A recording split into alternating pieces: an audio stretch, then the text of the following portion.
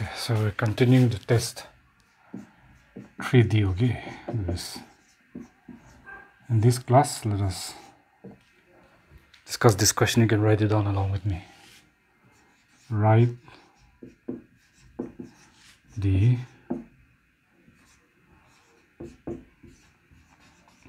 atomic structure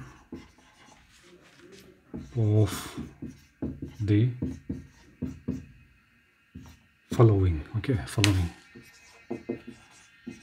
atoms. Okay so let us take some atoms. So let us write down the question and follow me uh, the first one. Okay so let's draw the structure of sodium atom let us say sodium atom has the symbol capital N small a. Okay. Then here its atomic number write it down is 11 okay. And the mass number. Every atom has got atomic number and mass number. Mass number is 23 so if we have the atomic number and the mass number as it is given here for sodium we can easily draw the structure.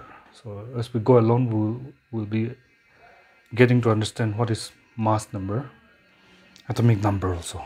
So here every atom has a central nucleus means just draw the central. Before that it just right here. So from here we can get the number of uh, protons.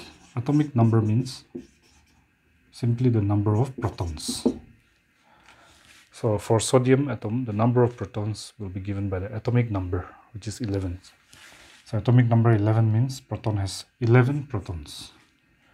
Okay, so and then number of electrons. Let's just write in short form E here. Okay, electrons if you like. Electrons. Number of electrons. So 11 protons and it has got 11 electrons. So that is given for any atom. That uh, whatever is the number of protons the same will be for the number of electrons. Every atom has got equal number of protons and electrons. That's why we know if protons there are 11 protons in sodium atom then it will have same number of electrons. Okay remember that. That's true for every atom.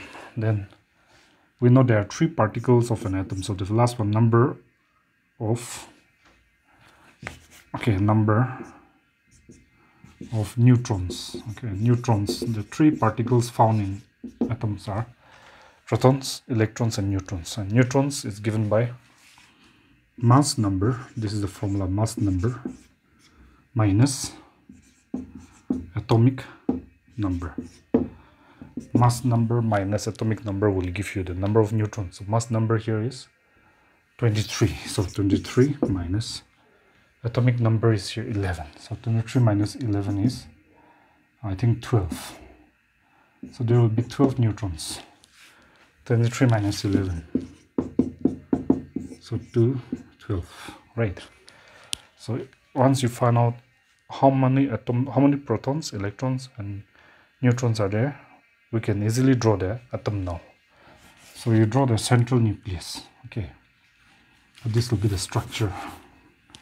Central nucleus. Every atom has a stationary central part called the uh, nucleus. A nucleus contains protons and neutrons. Okay let me take it on the right side.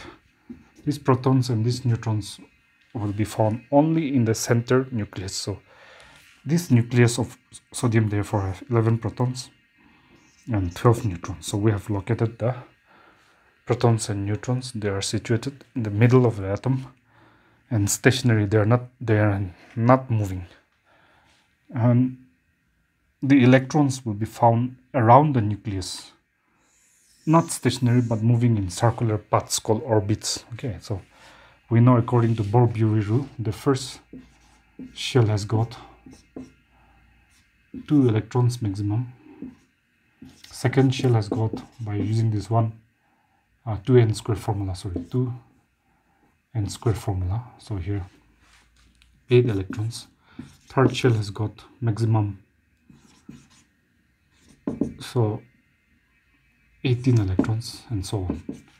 So here in the first shell this it has 11 electrons means according to Bohr rule the first is got 2 maximum 2 is possible.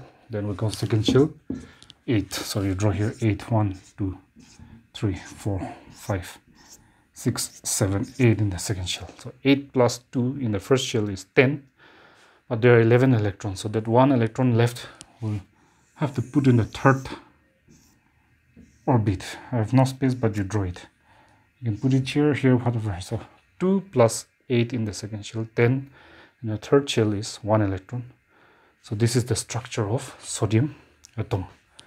Now here how many there is only one electron in the last orbit. Here the first orbit is here second and third orbit third orbit is the last orbit.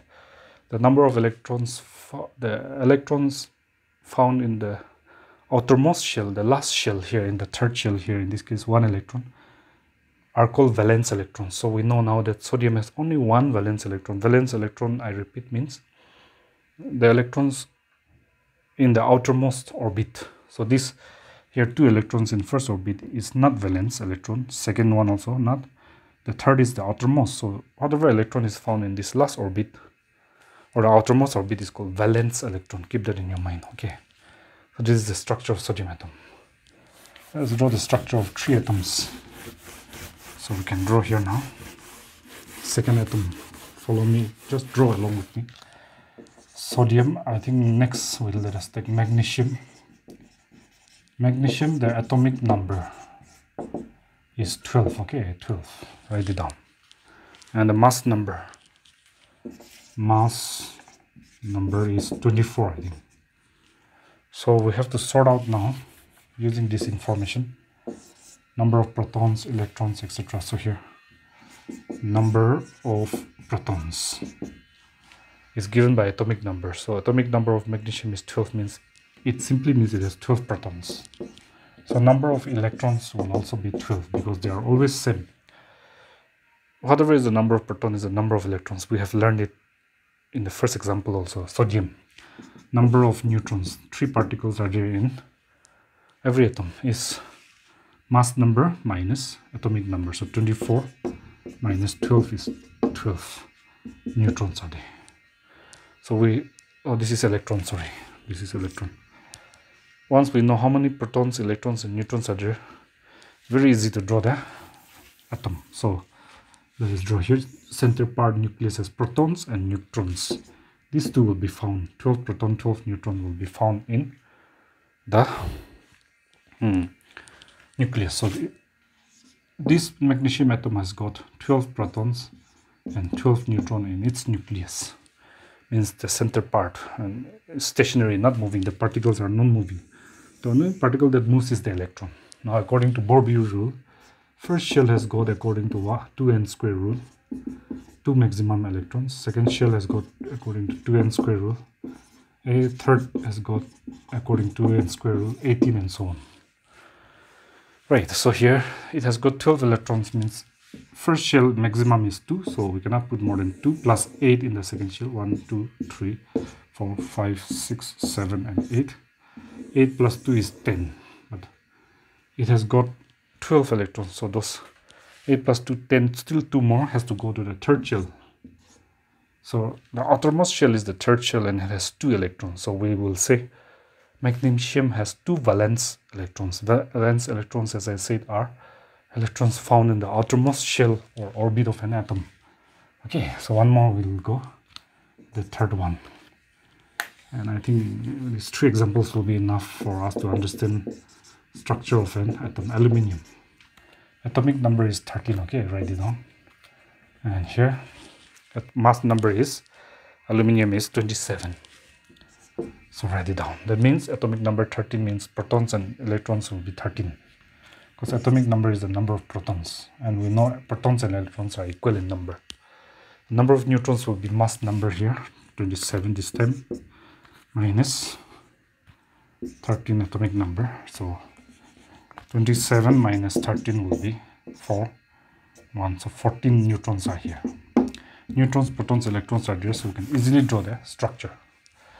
So draw your nucleus.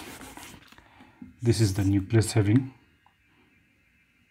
13 protons and 14 neutrons aluminum has got in its nucleus. First shell is maximum 2 electrons.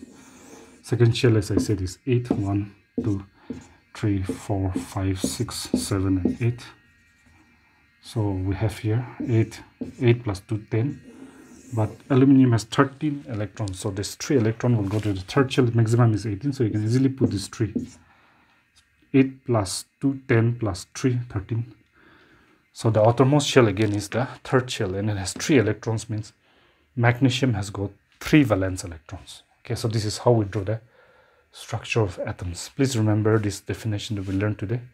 The electrons present in the outermost shell or orbit of an atom are called valence electrons. Okay this is important because valence electrons are the only electrons that take part in a chemical reaction. Okay so that concludes the, this class portion. We'll continue the next part the next class